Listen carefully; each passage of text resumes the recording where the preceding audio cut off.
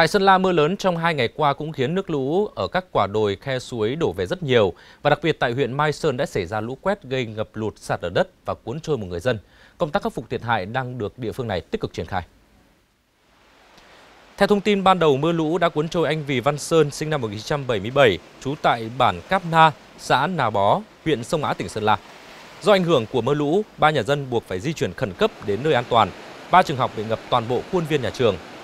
Mưa lũ tại huyện Mai Sơn đã làm 25 hecta hoa màu của xã Tà Học bị ngập úng.